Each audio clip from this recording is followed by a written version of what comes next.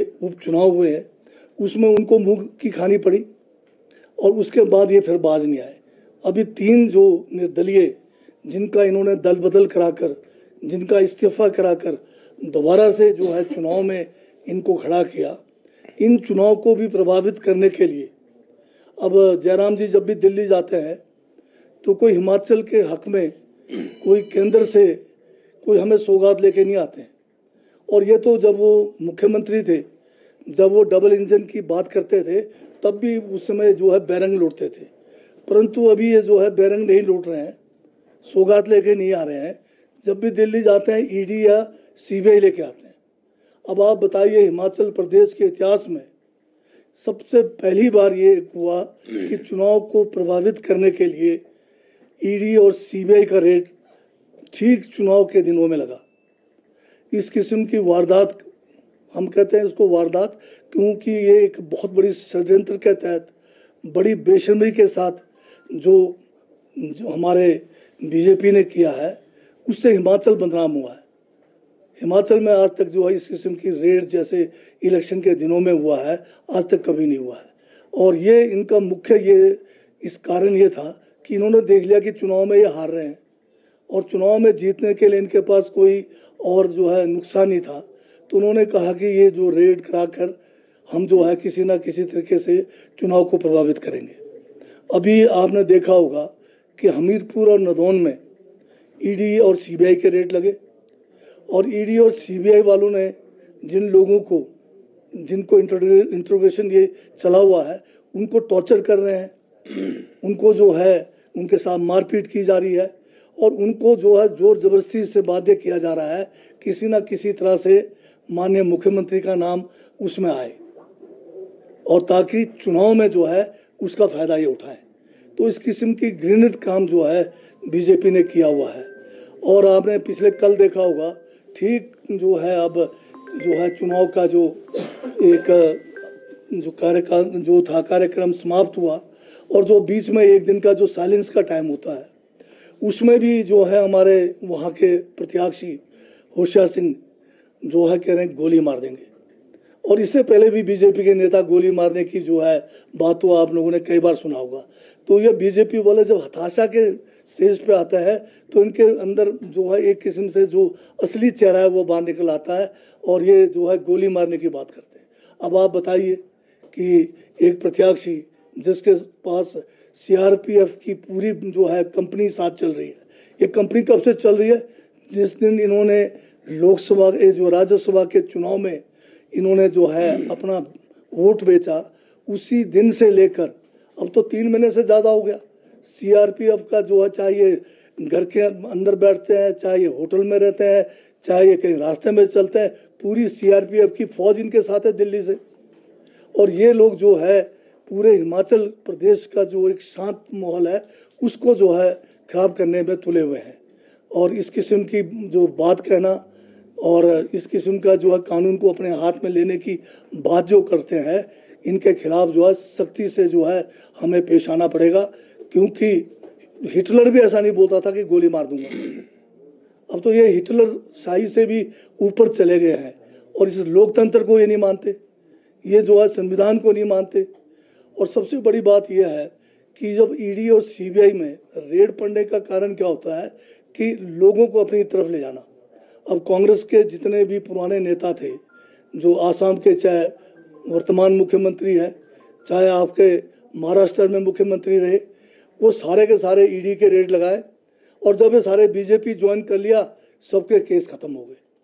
तो आज ईडी और सीबीआई केवल मात्र जो है, भाजपा में ज़ोर ज़बरदस्ती से जो स्थापित नेतृत्व है, उसको अपनी ओर आकर्षित करना या उनको जो है अपने दल में शामिल करके राजनीतिक लाभ लेना, यही भारतीय जनता पार्टी का नेशनल एजेंडा बना हुआ है। और इस नेशनल एजेंडे को हर स्टेट में जो है बखूबी के साथ, बड़ी बेशर्मी के साथ और संविधान को दरकिनारे रखकर, नैतिकता को दरकिनारे रखकर, सारे नियमों को ताक पे रखकर इस किस्म का गृहित कार्य कर रहे हैं।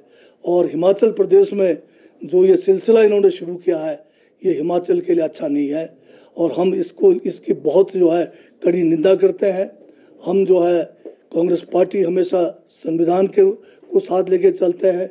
हम नियम कानून के तहत चलते हैं। और जयराम जी का ये कहना कि सरकारी मशीनरी का बड़ा दुरुपयोग हुआ। एक एग्ज़ाम्पल बताइए, कहाँ पर सरकारी मशीनरी का दुरुपयोग हुआ? है खाली एक स्वीपिंग स्टेटमेंट लगाने से सरकारी मशीनरी का दुरुपयोग नहीं होता है। सरकारी मशीनरी का दुरुपयोग तो जयराम जी करते रहे जब जब भी ये सत्ता में थे। उस समय जो है, ये जो है सारे अधिकारियों को यहाँ तक कि वीडियो से लेके जेई से लेकर चाहे हमारे जो आशा वर्कर हैं, चाहे हमारे दूसरे आंगनवाड़ी वर्कर्स हैं, चाहे सेक्रेटरीज हैं, हर एक की ड्यूटियाँ लगती थी कि चुनाव सभा में जो है, ये एक एक जो है वर्कर और बेनिफिशरीज को, ये जो अधिकारी में जिनका कर्मचारियों का नाम गिरा है, इनकी ड्यूटियाँ लगती थी।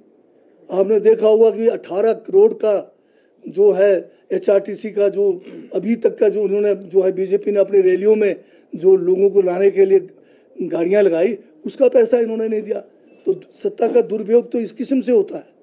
और हमें सिर्फ़ खाली ये कहना कि जो है सरकारी मशीनरी का दुरुपयोग हो रहा है, ये चुनाव में अपनी हार को निश्चित मानकर इस किस्म के हथकंडे ये अपना रहे हैं, जो लोकतंत्र की हिमाचल प्रदेश में पिछले कुछ महीनों से भारतीय जनता पार्टी व उनके नेतागण, विशेषकर नेता प्रतिपक्ष पूर्व मुख्यमंत्री जयराम ठाकुर, हिमाचल को बदनाम करने में और हिमाचल को बर्बाद करने में कोई कसर नहीं छोड़ी हुई है। उन्होंने पहला कोशिश किया कि एक लोकतांत्रिक तरीके से बहुमत की सरकार को जो है गिराने का एक नाकाम कोशिश उन्होंने किया, जिसमें जो है दन बल का खुलकर बड़ी बेशर्मी के साथ प्रयोग भी किया गया और साथ में आपने उस समय देखा होगा किस किस्म का नंगा नाच इन्होंने किया सरकार गिराने के लिए? और जो चुने हुए विधायक थे, उनसे उनका मत राज्यसभा में किस तरह से उन्होंने खरीदा? और आपने उसमें देखा होगा उस समय कि जयराम ठाकुर उस समय बहुत सारे जो है विधायकों को खरीदने का जो प्रलोभन देकर उन्होंने कोशिश किया हुआ था। मतदान के दिन उनको विश्वास नहीं था कि कितने उनमें से जो है, जिनको इन्होंने खरीदा है, उनके मत उनके पक्ष में पड़ेंगे। और जब उस समय राज्यसभा का चुनाव चला हुआ था, वोट डाले जा रहे थे, उस समय भी जयराम ठाकुर ने जो वहाँ पर व्यवहार किया, मतदान केंद्र के अंदर आकर, जिस तरह से उस समय उन्होंने वहाँ पर जो है, एक किस्म से वहाँ पर मतदान केंद्र के अंदर जाकर किस तरह से जो हमारे वहाँ पर उसमें जो प्रत्याशी थे कांग्रेस के, उनके जो एजेंट थे, उनके साथ भी बड़ी बदतमीजी की, उनको डराना, धमकाने की कोशिश की, और वो भी जो है किसी से छुपी नहीं है। तो इस बातों से साफ़ ज़ाहिर होता है कि बीजेपी को व उनके नेताओं को लोकतांत्रिक जो हमारे नियम है हमारे संविधान है, उनसे कोई लेना देना नहीं है। उनको केवल जो है सत्ता में बना रहना है, वही जो है सबसे बड़ी इनकी आज के तारीख में जो है एक लक्ष्य है। उनको हिमाचल बदनाम हो रहा है। हिमाचल जो है यहाँ पर हर तरह से विकास में पिछड़ रहा है, उससे उन्हें कोई लेना देना नहीं है। अभी जो लोकसभा के साथ दिल्ली गए कुछ दिन पहले, वापसी में क्या लेके आए? हिमाचल के लिए कोई सौगात थोड़ी लाए?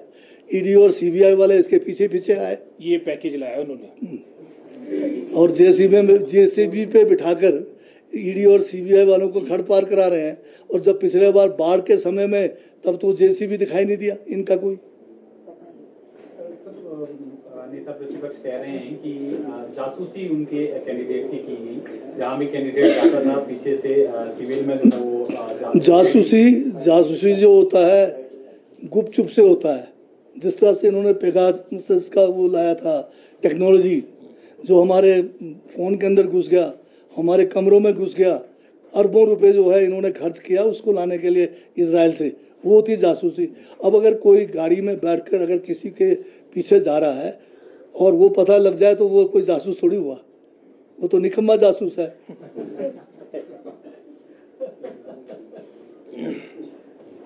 ठीक है, धन्यवाद। अगर किसी भी पार्टी से जुड़े हो सकते हैं, कोई भी विचारधारा के हो सकते हैं, बात वो नहीं है। रेड जो है, अगर करना था तो चुनाव से पहले भी कर सकते थे। क्या जल्दी लगी है इनको? चुनाव के दो दो दिन बाद भी कर सकते थे। चुनाव के वोटिंग के बाद भी कर सकते थे। हमारा कोई उससे वो नहीं है कि रेड क्यों हो रहे हैं। पर रेड करने का जो टाइम इन्होंने रखा है, वो चुनाव को प्रभावित करने के लक्ष्य से रखा गया है।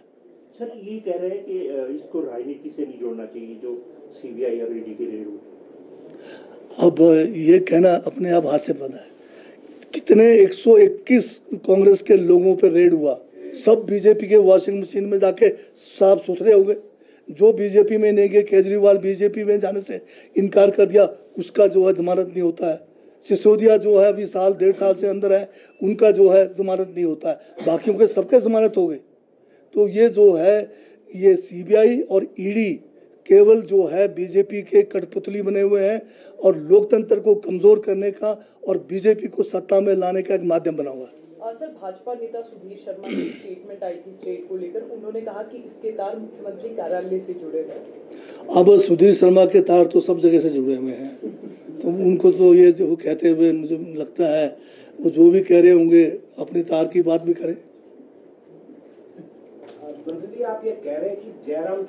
हिमाचल के लिए भी बहुत जो है एक किस्म से एक नुकसान जो है ये पहुँचा रहे हैं। हिमाचल का नाम पूरे देश में जब ईडी और सीबीआई के रेड पड़ते हैं, उससे बदनाम होता है। और यहाँ के लोगों की जो एक संस्कृति है, शांत और स्वभाव के लोग हैं, यहाँ भी मतलब गोली मारने जैसी बातें करके यहाँ के माहौल को खराब किया जा रहा है। आप ईडी ईडी और छाप के हमारे पर सवाल उठा रहे